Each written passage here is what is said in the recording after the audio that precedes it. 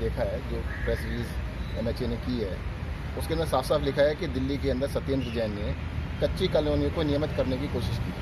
हाँ मैं UD minister हूँ, बिल्कुल कोशिश की।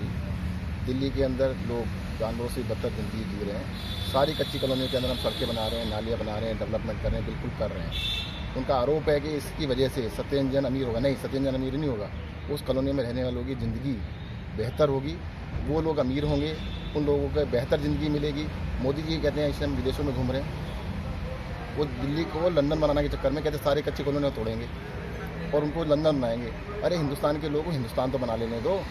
मैं कह रहा हूँ कि दिल्ली के सत्रह सौ पैंसठ कॉलोनी के अंदर हम काम कर रहे हैं और छाती ठोक के काम कर रहे हैं, जब से हमारी सरकार बनी है, सबके अंदर सड़कें बना रहे हैं, सबके अंदर नालियाँ बना रहे हैं और लिखित में उन्होंने आरोप कहा है कि इन कच्ची कॉलोनी को नियमित कराना चाहते हैं हाँ हम कराना चाहते हैं। कच्ची कॉलोनियों को सबको पक्का कराना चाहते हैं। दिल्ली सरकार का ये एक घोषित घोषणा पत्र का पार्ट है।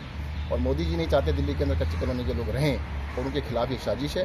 डराना चाहते हैं। मेरे खिलाफ एक नहीं सौ केस बनाइएगा। मैं डरने वाला बिल्कुल नहीं हूँ। और कच्ची कॉलोनी के काम जैसे पहले चल रहे थे उससे भी अच्छे तरीके ज़्यादा से ज़्यादा किए पढ़ लीजिए ना।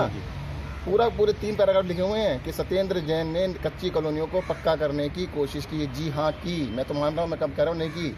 मैं यूडी मिनिस्टर हूँ मेरी ज़िम्मेदारी है दिल्ली के लोगों की नागरिक सुविधा देना की ज़िम्मेदारी मेरी बनती है। वहाँ पे हम सड़कें भी बना रहे हैं गलियाँ भी बना रहे हैं नालियाँ भी बना रहे हैं सब कुछ बना रहे हैं सब कुछ बनाएँगे।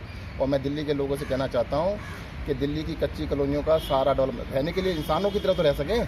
वहाँ पे नालियाँ बनना उनका अधिकार है सड़कें बनना उनका अधिकार है और उसको नियमित करना भी अधिकार है। केंद्र सरकार से मैं अपील करता हूँ उसको जल्द से जल्द नियमित करें। सर दीजिएगा कोर्ट तो जाना होता तो एक साल पहले चले जाते। कोर्ट में तो क्या होना है? कोर्ट के अंदर तो जो सच है सच होगा जो झूठ है झूठ होगा।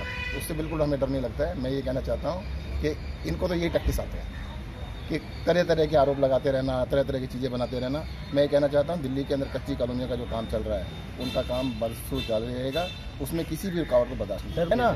अब ये सोच के देखिएगा दिल्ली के दो लोगों को श्राप दे रही है बीजेपी मोदी जी कह रहे हैं कि दिल्ली के अंदर कच्ची कॉलोनियों को ठीक करना अरे यार ये तुम आरोप लगा रहे हो मेरा तारीफ़ कर रहे हो। ये तो अच्छी बात है हाँ करना चाहते हैं, कच्ची कॉलोनी को पक्का करना चाहते हैं, दिल्ली सरकार करना चाहती है, सोच समझ के तो आरोप लगाओ कि क्या आरोप लगा रहे हो।